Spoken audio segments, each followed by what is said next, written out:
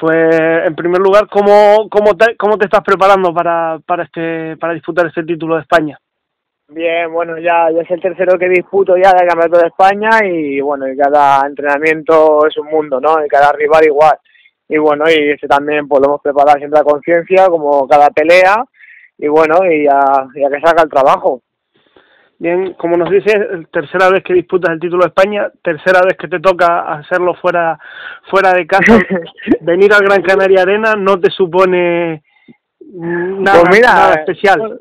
Eh, especial sí, pero bueno, porque siempre que, que he en Canarias ha sido siempre muy positivo, porque tanto como de amateur como de profesional, mira, la segunda pelea también la hice en Gran Canaria y me fue muy bien, gané antes del límite y siempre con el público canario siempre he tenido muy buen feeling, ¿no? Eh, siempre ha respondido muy bien hacia mí sin conocerme y, y bueno, y que no es un sitio que, que me eche para atrás para ir, vamos, que, que me atrae.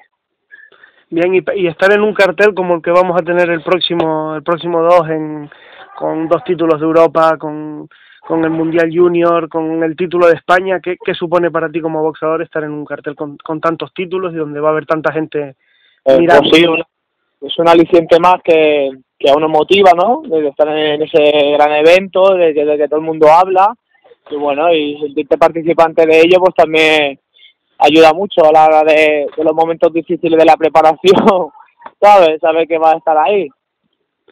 Bien, y como, como boxeador, ¿cómo te describirías? Yo, muy gracioso. bueno, como boxeador, bueno, todo, todo el mundo así que me conoce, bueno, lo he dicho, muy inteligente en el ring, técnico, un, un, un zurdo así a lo mejor un poquito complicado, y bueno, y, y muy ambicioso, la verdad.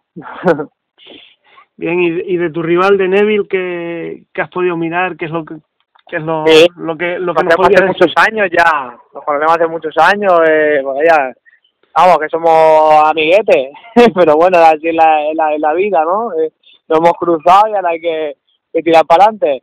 Pues sí, pues Neve es un boxeador, un buen boxeador, guerrero, ¿sabes? Y siempre que dar, dar la cara ahí en el ring, y vamos, y va a ser una, una pelea muy atractiva también, ¿sabes? Para ambos. ¿Dónde crees que pueden estar las claves de, de, ese combate entre, entre Neville y tú? Yo lo que siempre digo, siempre que tú puedes estudiar una pelea, un combate, puedes ver al rival, pero lo- luego donde se lee la pelea es allá arriba, ¿no? Porque claro, todo cambia. Yo he visto, eh, siempre he visto eh, mirar a mis rivales, etcétera y demás, y luego se cambian los papeles de una manera que no veas, ¿sabes? Yo siempre lo mejor es, siempre que he hecho es estudiar la pelea y encima del ring. Está bien saber un par de puntos de tu rival, de cómo puede accionar o no, pero luego ahí ya, ya se verá, ¿no? Porque eso no es imprevisible, ¿no? Para, para ambos, creo yo. Bien, ¿y qué, cómo, cómo crees que se va a dar ese combate? ¿Cómo, cómo, cómo te gustaría que se, que se diese? que se viese de resultado, pues claro, como dicen todos todos los, todos los boxeadores, ¿no? Cuanto antes acabe mejor y venga a llevarme el título y todos contentos, ¿no? Pero que vamos, yo ya te digo, eso de predecir las peleas y tal, nunca se me ha dado bien, la verdad, ¿sabes? Yo ya te digo, vamos a salir los dos ahí ambiciosos, con ganas, somos jóvenes, hay un título por el medio y ahí lo vamos a dejar todo, ¿sabes? Por lo menos yo. Bien, eh, viendo tu, tu récord y el récord de, de Neville, ¿Sí? eh, a tantos combates que llevas tú y también los que lleva Neville, solo comparten creo que, que dos rivales, que son Santos Medrano y Miguel Aguilar. Ajá, sí, sí, de verdad. Eso te puede dar una idea de cómo está Neville, tú que te acabas de enfrentar hace poco a, a Miguel Aguilar, comparativamente, comparando lo que hiciste tú, lo que hizo él, te puede dar llegar a dar una idea de lo que te puedas encontrar el próximo día. No, porque tú, yo tampoco sé cómo a mejor estaba Miguel Aguilar cuando boxeó con Neville, ni cuando boxeó conmigo. Yo soy zurdo, él es derecho, ¿sabes? Son varios alicientes ahí, ¿no? Que, que claro, dices tú, que tampoco te puedes guiar por la pelea que haya hecho con uno con otro, ¿sabes? Y otra cosa hubiera sido que a lo mejor Miguel Aguilar hubiera noqueado a Neville en el segundo asalto, le hubiera dado un repaso, de hostia, pues está jodido. Porque a mí la verdad, yo la pelea con Miguel Aguilar la- llevé yo todo el peso de la pelea, hice lo que quise prácticamente, ¿no? Ah, pues ahí sí que podía decir, hostia, está jodido. Y yo tampoco creo que quisiera hacer el campeonato de España si hubiera sido ese caso. Pero bueno, no sé. Bien, también eh, por ejemplo, aquí en, en Canarias sí existe esa rivalidad entre, entre islas. Neville es, nacido en Mallorca, aunque ya lleva muchos años residiendo aquí. También existe en Baleares ese, ese pique entre Mallorca y, y Menorca. No, yo creo que como somos tan poquitos, no, no creo que en el fútbol creo que sí, pero así en el boxeo no, no hemos llegado a eso en el boxeo. Entonces esperas en contener, como, como nos decías, un, un amigo un amigo como, como es Neville, esperas encontrarte con lo que decías, un amigo como es Neville, pero un, un, duro rival ahora para, para el día 2. Ah, sí, sí, por supuesto, claro que sí, vaya, sí, sí.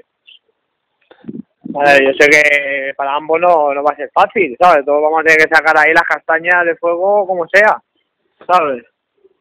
Y volver otra vez, como decías, tercera vez que, que baja por el título de España, lo, lo ya, ya lo has tenido, lo tuviste y sí, sí, lo, sí, lo, dejé vacante y lo disputó Ferino con Pulido ahí, en Canarias, que yo también voy ahí en Canarias cuando quedó campeón de España Ferino.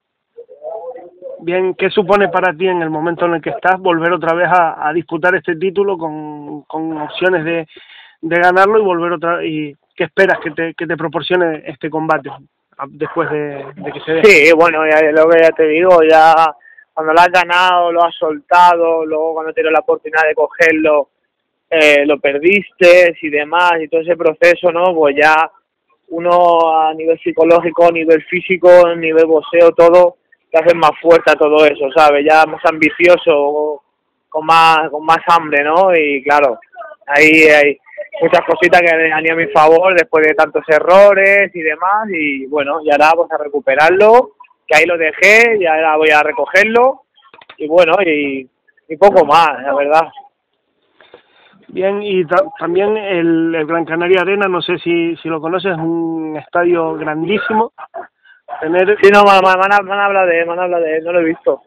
Tener, tener el, por fin el boxeo una oportunidad de, de un grandísimo estadio, una grandísima velada, ¿qué, qué crees que puede suponer para, para todos ustedes, para todos los boxeadores, el que, el que estén llegando estos, estos escenarios para, para poder boxear?